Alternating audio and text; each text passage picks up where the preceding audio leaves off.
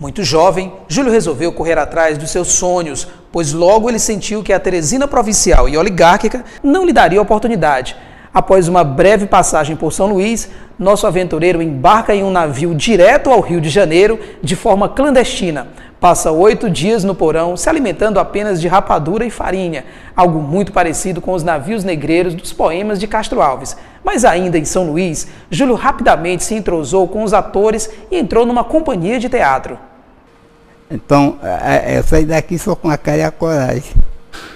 Daquela rua que nós fizemos, a minha avó saiu atrás de mim chorando. Bom, aqui era uma das casas de propriedade da minha avó alugada. Meu filho, o que você vai fazer no Rio de Janeiro, pobre? Eu, eu, eu nem olhei para trás. Baixei até o Parnaíba porque eu dizia ao prefeito que não, não, havia dinheiro para financiar minha ida. E eu, sem né, subir aquela rua, peguei um, um barco, um, um, barco não, uma canoa, fui até Flores, como era, como era chamado o atual Timon. De Flores, eu peguei um trem de carona é, o, o, o chefe do trem que ia de Flores até São Luís do Maranhão.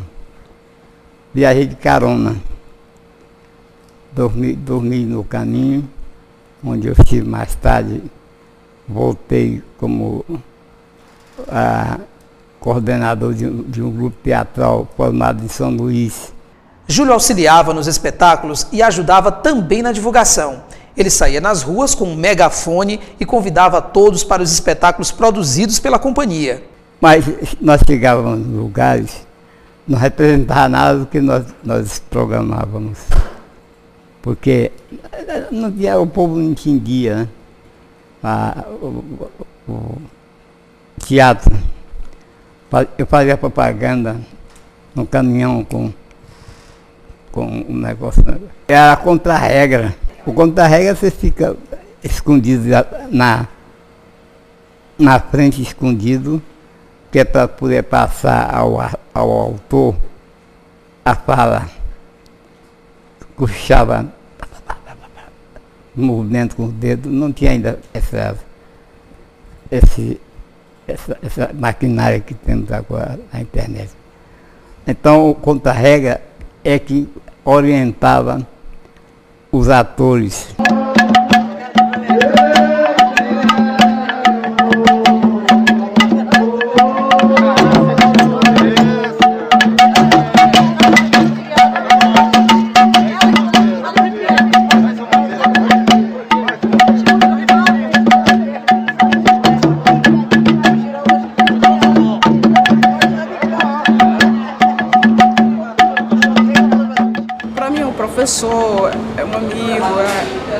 Pessoa, uma celebridade do Piauí, né? E que, infelizmente, no Piauí a gente tem essa dificuldade que precisa ser revista. A gente costuma dizer isso no movimento negro. Nós estamos recontando a nossa história e o Júlio Romão faz, pa faz parte dessa recontagem, né? E um dia eu nós anunciamos uma peça de Juraci Camargo um dos maiores que eu conheci também, tive intimidade com ele. E fui influenciado por ele no teatro. E eu anunciei à noite a sala do teatro, do teatro em Caxias. De noite só apareceu um, um, um, um espectador. Só apareceu um. Murilo Granda chegou para explicar ao público que, infelizmente, não podia haver espetáculo, porque, de lá, desculpa, só apareceu um, um, espectador. Aí o espectador puxou assim um revólver. Puxou o que tem que espetáculo. Botou o revólver, porque, não, porque nós, eu paguei. Eu quero ver espetáculo. Foi a tremedeira. Todo mundo tremendo na frente daquele tem que Todo mundo com medo, tremendo, com revólver na frente. Aí improvisaram lá uma, uma cena, pegamos umas, umas, umas, umas lá do, do São Luís do Maranhão, fizemos delas atrizes improvisadas.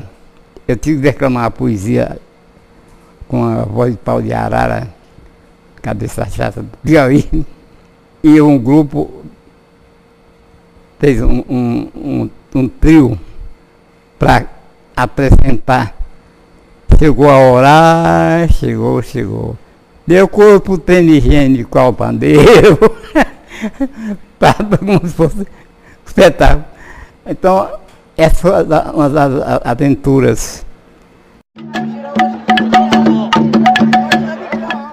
Quando eu voltei, o navio chegou e eu fui para o Rio de Janeiro. O navio Santos, me lembro agora, cargueiro, foi no Purão, comendo rapadura, farinha com rapadura, era, era nosso almoço. Os pau de arara enjoavam aqui no, no mar, viagem de, de, de, por mar, da enjoo.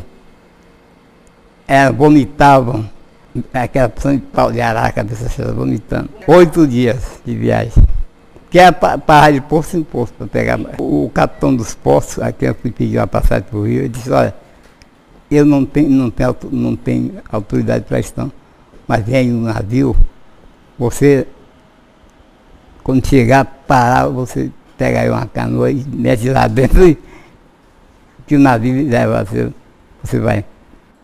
Quando eu saltei no Rio de Janeiro, aquele edifício enorme da, empresa noite, que foi confiscada pelo Getúlio Vargas. Eu fiquei desse tamanhozinho. Nunca tinha visto um edifício daquela altura. Eu subo aí. Foi onde, onde se deu o episódio do Aleijadinho, que eu escrevi a vida do Aleijadinho. Então, o primeiro artigo meu foi na empresa à noite no jornal Vamos Ler. Vamos Ler foi uma das mais importantes revistas do Rio de Janeiro. De caráter político, a revista foi lançada no Brasil por volta de 1930, com circulação nacional. Apresentava ilustração de capa com o assunto mais importante da semana, através de fotos ou desenhos trabalhados. Na contracapa, trazia sempre a imagem de alguma pessoa famosa. De propriedade da Sociedade Anônima à Noite, a revista contava com a direção de Raimundo Magalhães. Produzida em papel jornal e um custo baixo, a revista garantiu uma ampla projeção na sociedade. No dia 14 de maio de 1942, Romão publica o seu primeiro artigo na revista. Na página 10, ele conta a história do escultor mineiro Aleijadinho, Júlio analisou a estética poética da obra Primeiras Trovas Burlescas de Luiz Gama. Luiz Gama foi ex-escravo e pioneiro do abolicionismo. Júlio foi também contemporâneo de Solano Trindade, referência na luta pela igualdade racial no Brasil. Solano e Gama são verdadeiros poetas do povo negro. Bom, para mim, Júlio Romão é uma figura assim, muito importante né, para a população negra de todo o Brasil, principalmente do Piauí. É, e é importante né, o que vocês estão fazendo com relação ao professor Júlio Romão, né, que é jornalista, poeta,